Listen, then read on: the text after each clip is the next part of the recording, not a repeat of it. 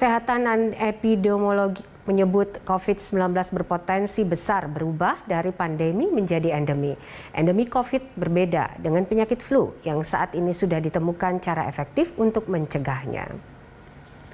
Epidemiolog Universitas Griffith Australia, Diki Budiman menjelaskan Kemungkinan berubahnya COVID-19 menjadi penyakit endemi sudah hampir bisa dipastikan. COVID kemungkinan akan berubah menjadi endemi dan bisa ditangani dalam dua hingga tiga tahun lagi. Ia menjelaskan endemi COVID berbeda dengan penyakit flu. Saat ini masih ada penyakit long COVID-19 yang masih sulit ditemukan pencegahannya.